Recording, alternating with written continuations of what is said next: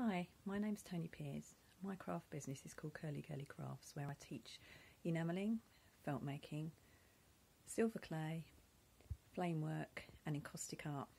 I think using videos is really useful because it enables me to show people what many of these things are, as lots of people have not got a clue what things like encaustic art is, or enamelling, even, or even silver clay. So I've done a couple of videos doing um, flame work before, so gone from sort of the whole process. So it'd be really good to just get more confident using the videos so that I can post out more. I found that I'm getting a lot more hits using video than just sharing photographs, which I do a lot of anyway for my classes. I got started with crafts about 15 years ago.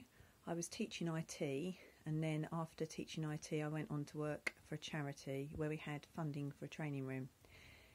The training room's purpose really was to give people ideas of what to do with the scrap. So, having kind of gone along that route, I found that I started teaching lots of different things and I couldn't find classes where to do them. So, I ended up doing lots more things myself at home, hence, I had the equipment, so I started teaching.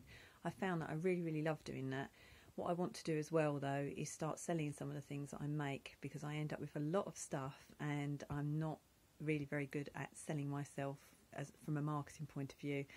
I can um, I can do really well in class and present myself really well in class, although this video might show otherwise.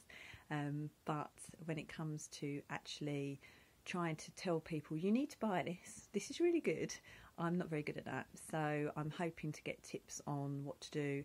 And you know, maybe in a video I can be doing a demonstration, but also then sort of telling people how they might be able to buy things or tailor things for themselves that they either want to do as a class or they might want to buy from me.